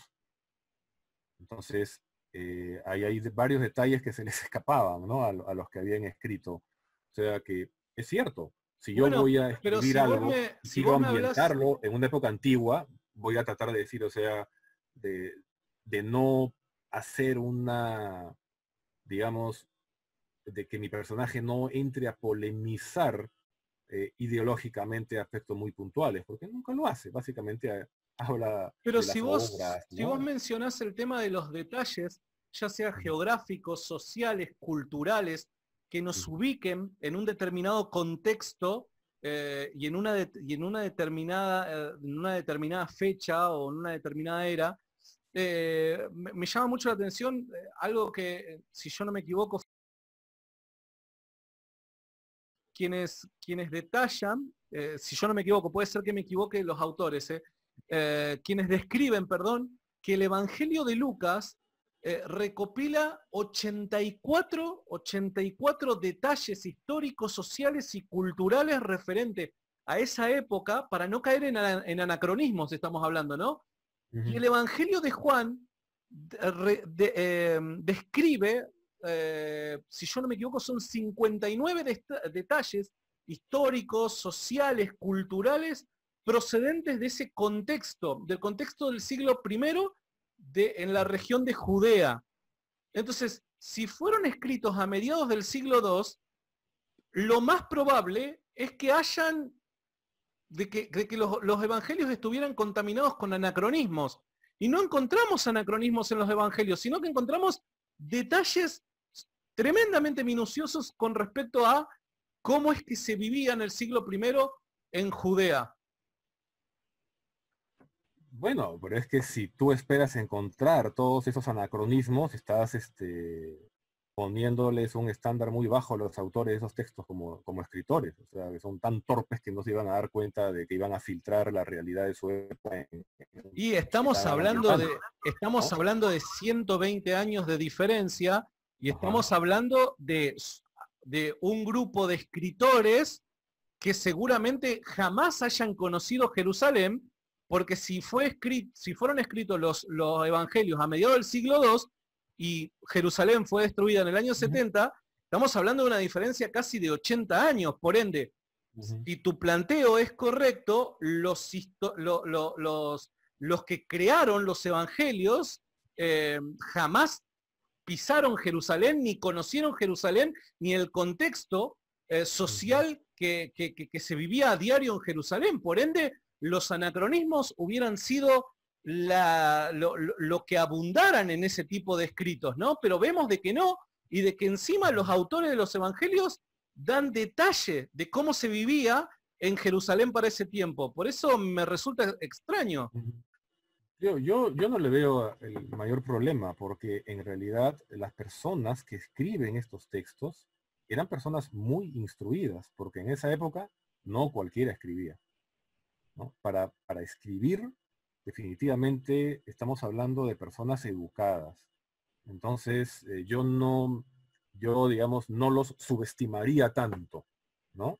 Digamos que eran, eran personas instruidas. El, el Evangelio de Marcos en realidad es, es un texto brillante y muy inteligente porque tiene es un hipertexto de la Odisea, pero tiene eh, las bases ideológicas de la Septuaginta, ¿no? de la Biblia de los 70, y tiene targums eh, en arameo, ¿no? Eh, y todo esto para plantear la necesidad de que haya una nueva religión, ¿no? Y, que, y nos dice simbólicamente en su personaje central Jesús, que creer en Jesús equivalía a los principales ritos judíos. ¿Por qué razón? Porque el que Jesús fuera crucificado en Pascua ya absorbía la Pascua. Ahora, esa es una imposibilidad histórica. Los judíos jamás habrían crucificado a nadie en Pascua. ¿no? Eso es imposible. Pero eh, ritualmente lo que nos quiere decir esto sí, es que Jesús representa la Pascua. O sea que como que el cristianismo era una etapa superior, ya incluye al judaísmo. ¿Y, ¿Y cuál era el otro rito importante de la época? Era una versión arcaica del Yom Kippur, en el cual liberaban a dos cabras que eran igualitas, una de ellas era liberada y la otra era sacrificada. Bueno, en, unos manuscritos antiguos de Marcos tenemos que el famoso Barrabás eh, está con su nombre completo y su nombre completo es Jesús. O sea, es dos Jesuses, los mismos, iguales, uno es liberado y el otro es sacrificado. O sea, Jesús es el Yom Kippur y es la Pascua judía, es la representación de, la nueva religión. creer, en Jesús representa, digamos, es la, el nuevo judaísmo. Los judíos nunca compraron eso, ¿no? Así que tuvieron que predicarlo entre los gentiles. Pero el asunto es que sí, tiene un valor simbólico muy fuerte. Y yo diría que es un texto muy inteligente desde ese punto de vista. Claro, entiendo, entiendo. Iván, eh, acá ya son la una y 30 de la madrugada, así que de verdad eh, agradecido por todo este tiempo que, me has dado. Espero que la hayas pasado bien. Eh, y nada, la verdad que yo disfruté mucho la conversación con vos. Gracias, igualmente, ha sido un gusto también. Te mando un abrazo enorme, Iván.